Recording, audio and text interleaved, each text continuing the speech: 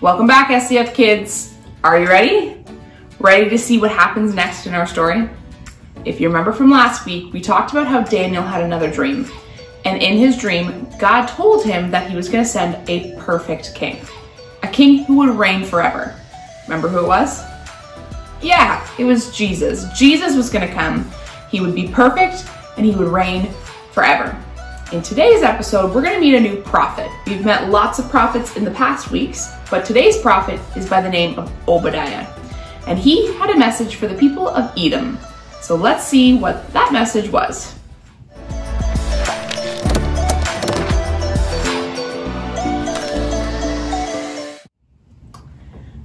Would you guys check out this tower? Isn't it the most amazing tower you've ever seen in your entire life?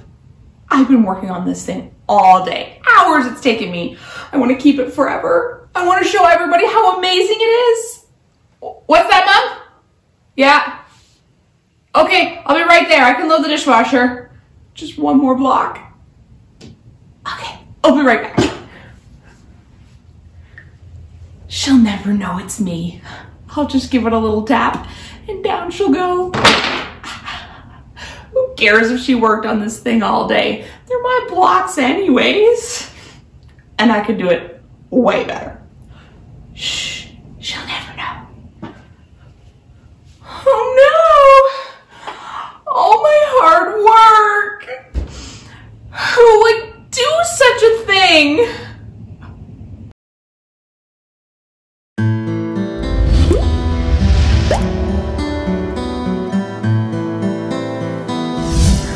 Sent a message to Obadiah the prophet in a vision.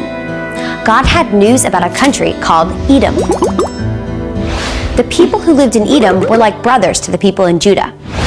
Both groups were descendants of Isaac's twin sons, Jacob and Esau. The people in Edom came from the family of Esau. God's people came from the family of Jacob. The people of Edom didn't love God. They worshiped false gods. They lived in the mountains and trusted the mountains and their own strength to protect them. The people thought that they were better than everyone else. The Edomites didn't get along with God's people in Judah. When the Babylonians took over the city of Jerusalem, the people in Edom just sat back and watched. They didn't try to protect Judah. The people of Edom even went into Jerusalem and took things that didn't belong to them. God said he was going to punish Edom. Listen up, God said. Out of all the nations, you will be the least important. No one will like you. You were proud, and I will punish you. You thought you were safe, but I will bring you down. Obadiah's message for the people of Edom was bad news. God was going to allow Edom's enemies to take away everything they had. Even the people who were their friends would steal from them. Many people would be killed. God said to Edom, You were cruel to the people in Judah, so you will be punished. When Judah needed your help, you stood back and did nothing. You laughed and were happy that they were attacked. Every bad thing you did to others will be done to you. The day of the Lord is near, Obadiah warned. Every evil thing you did to others will be done to you. God said that the bad things that were happening to his people in Judah were only for a little while. God would deliver his people. But when I punish you, Edom, God said, everything will be destroyed. Obadiah's message from God had good news for God's people. My people will have the land that belongs to Edom, God said. God's people would return to their homes and God would take care of his people. But Edom's punishment was forever.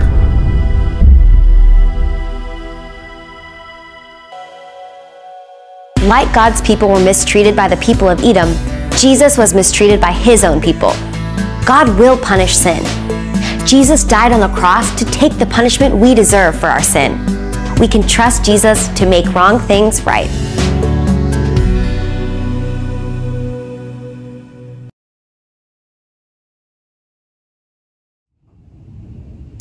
All right, you guys, I was able to rebuild and restore my tower after I found out that my brother was the one who destroyed it and made such a huge mess.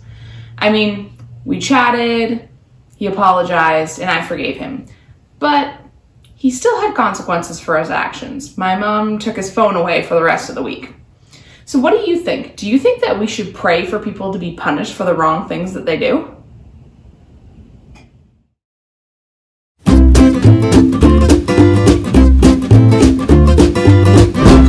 Hey there, I'm Pastor Brian, and it's time for questions from kids. Neve from Wilson, North Carolina asks Can I pray for God to punish people who do bad things?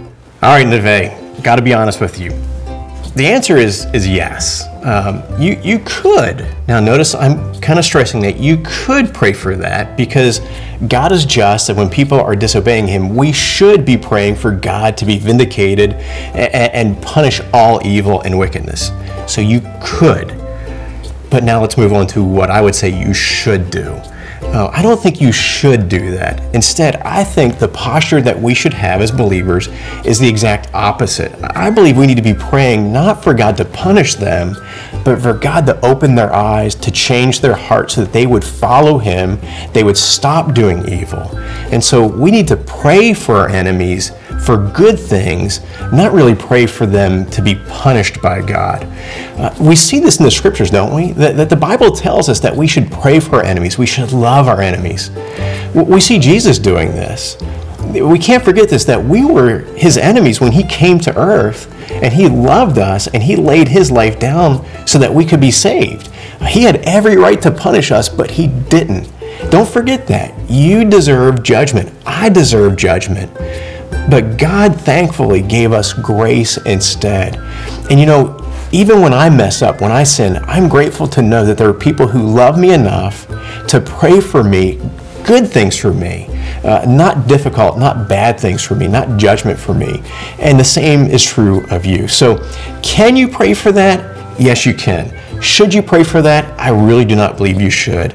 I think it's better that we pray for good things, for blessings even, so that God can change their hearts, that He can change their lives, and we can see them glorifying God instead. So here's a question to think about How do you think praying for your enemies or showing kindness to them could change how you feel about them?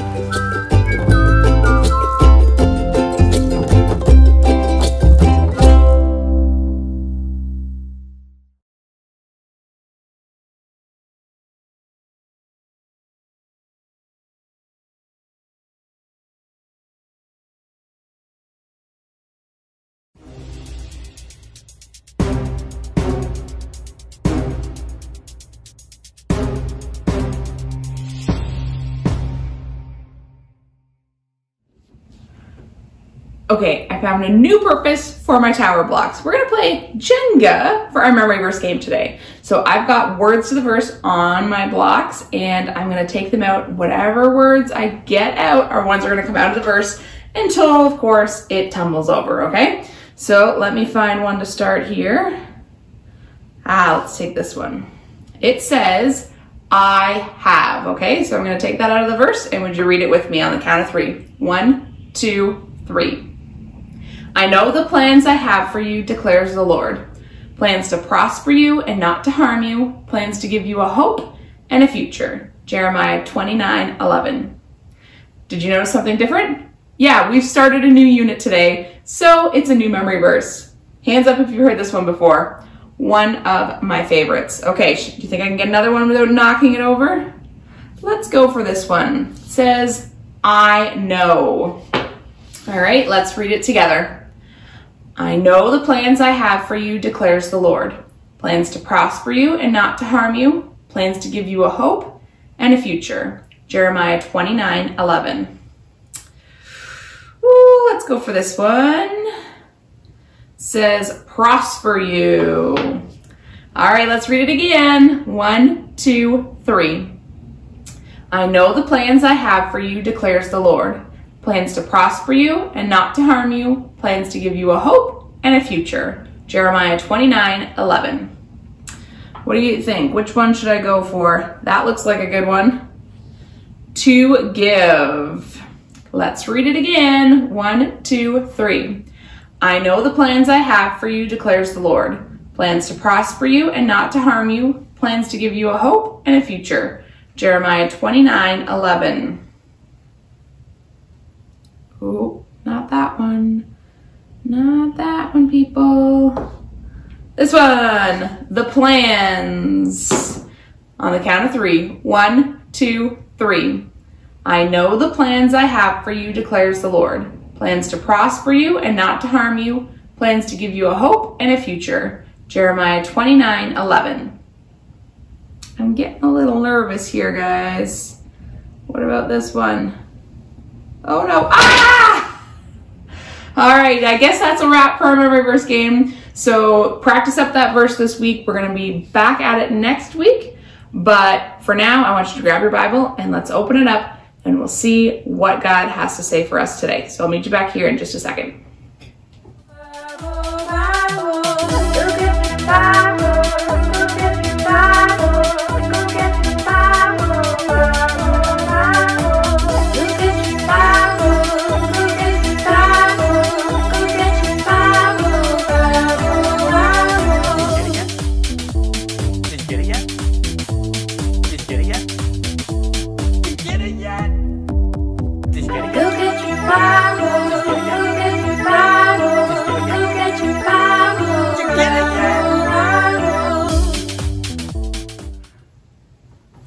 Got my Bible. You got yours?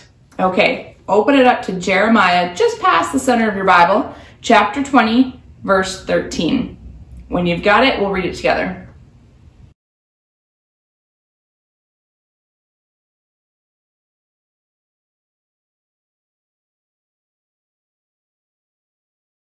It says, Sing to the Lord, praise the Lord. He rescues the oppressed from the power of evil people. So God's people here in this story are oppressed. That means they were in trouble. They were having hard times. And we're learning that God rescues us. He rescued his people. He sent us Jesus, the perfect rescuer. He is so faithful. And I want to sing to him now. So would you join me? Come on, clap your hands.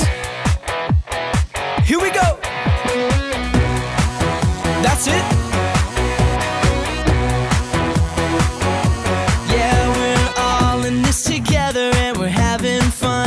Here to spread the love of God to everyone. Gonna get a little